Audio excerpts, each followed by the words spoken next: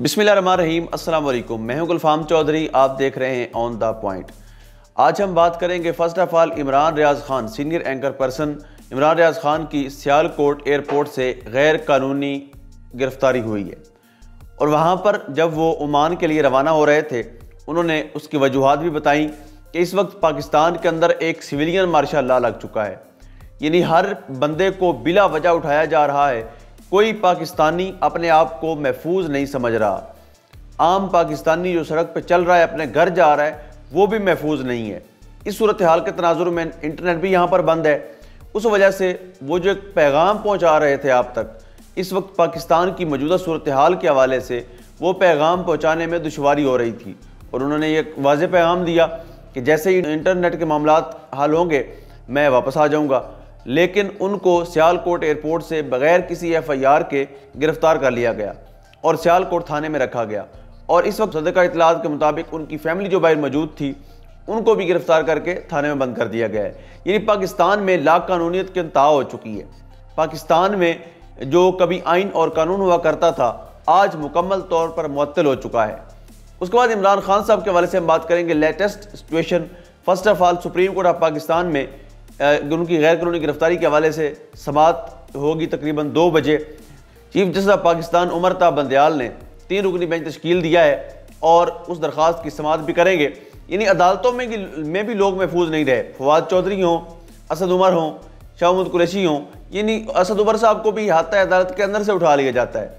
पाकिस्तान की अदालतों में जाने वाले लोग भी गैर महफूज होने लगे हैं।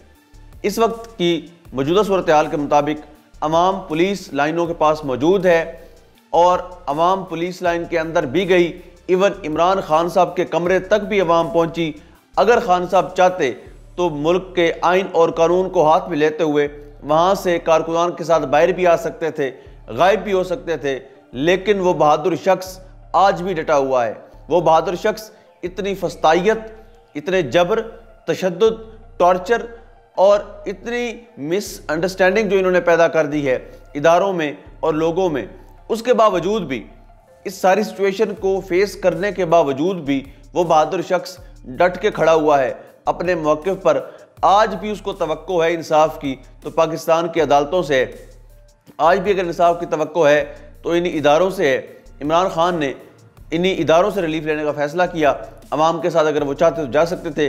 बहुत बड़ी तादाद अवाम की बाहर मौजूद है इस वक्त। पुलिस लाइन पिंडी के बाहर वो चाहें तो लेके जा सकते हैं, लेकिन पाकिस्तान के आइन और कानून को वो हाथ में नहीं लेना चाहते। इस वक्त जो भी पसे पर्दा ताकतें पाकिस्तान को तोड़ने की कोशिश कर रही हैं या पाकिस्तान के इदारों और अवाम को सामने खड़ा करने की कोशिश कर रहे हैं, उनको होश के नाखुन लेने चाहिए।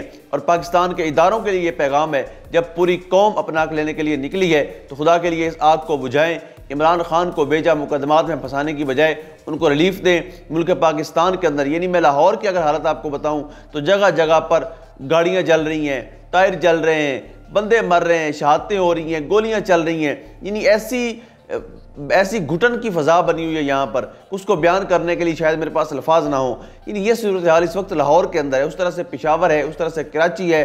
तमाम तर सूबों के अंदर ख़वान का भी हया भूल गए ये लोग। ख़वान को गिरफ़्तार कर रहे हैं इंतहाई बदतमीज़ी से बद लिहाजी से उनके साथ उनके साथ पेश आ रहे हैं। तो ये वक्त सोचने का लम्हा फ़िक्रिया है। खुदा के लिए होश का नाखुल लें और इमरान खान को रिलीफ देकर जो है अदालत से तो की जाती है कि वो रिलीफ देंगे और आवाम और इदारों के दरमियान जो बड़ी खलीज आ चुकी है, इसको हल करेंगे।